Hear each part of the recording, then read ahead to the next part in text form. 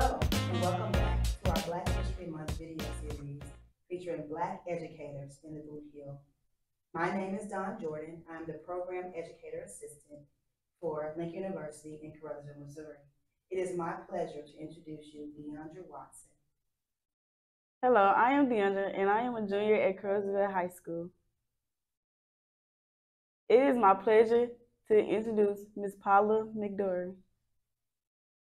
So for the first question, tell us a little bit about yourself and your position. All right, I am Paula McAdory. Uh, I work for Caruthersville Middle School. I am an in-school suspension teacher. Uh, I've been an educator for over 25 years now.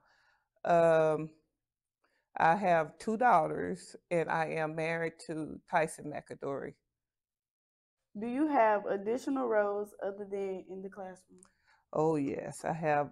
Uh, I am a middle school bas- girls basketball coach, and I am a middle school slash boys track and field coach. And I am also on the PBIS Tier Two team. What fueled your desire to be an educator? what fueled my desire to be an educator? Um, one thing was I did not want to go into business at the time. And uh, I love playing sports and I love uh, being around kids. So I think that was the biggest influence. When did you know you wanted to pursue education?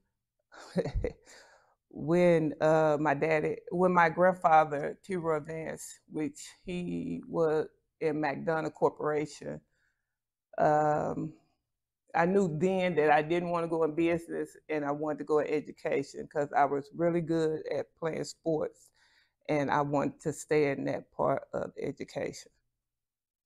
Is there a mentor who you would identify as someone who encouraged you to pursue education? Mm, yes. Uh, my volleyball coach at the time was Donna Clark.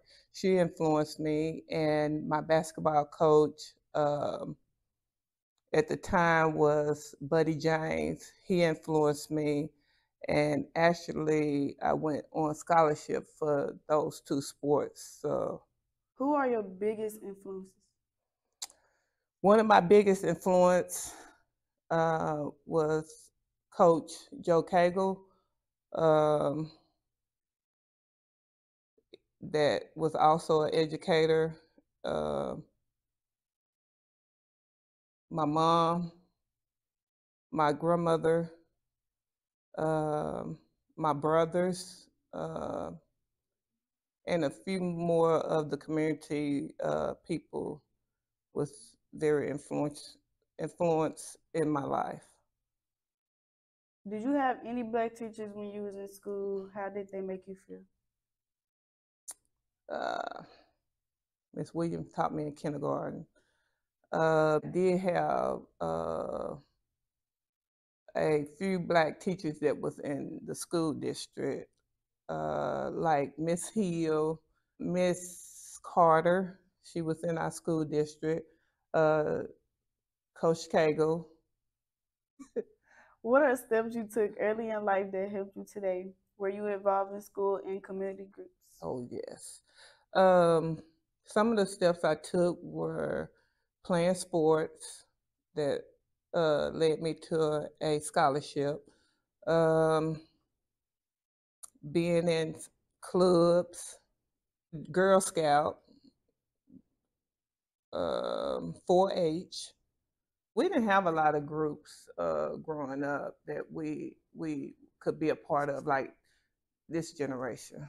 We, so, since you was involved in school, what are some of the skills you learned? Um, some of the skills that I learned were um, getting along with other students.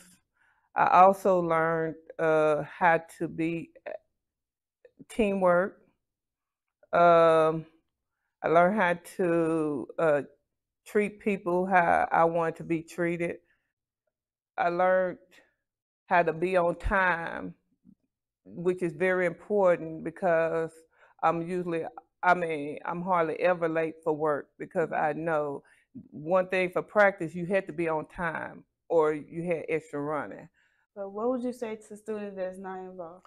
Uh, I would say to students that's not involved to get involved in some type of club, sports, um, even if it's just working in community with uh, community groups. Uh, it'll teach them so much on how to give back and how to working together with other people that's on their job, which is very important.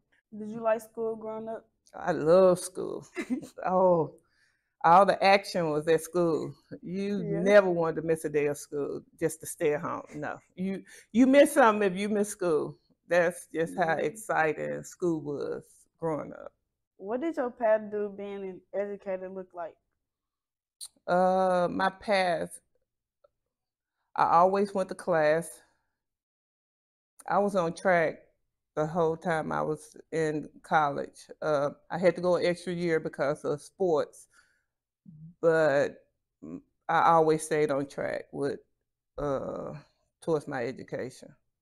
And where did you go to school? I went two years at Three Rivers Community College in Poplar Bluff, Missouri. Then I transferred to the University of West Alabama to finish my uh, degree. Okay.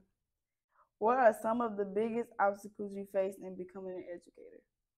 The biggest obstacles I faced was, I guess the only one I really faced was um,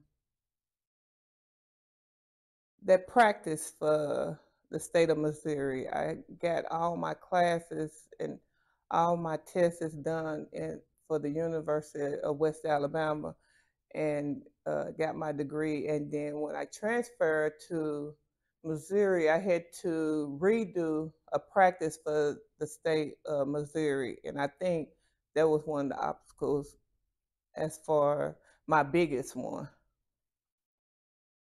Do you feel there are benefits in having a diverse school staff? Yes, I think it's some benefits to having a diverse uh, school staff.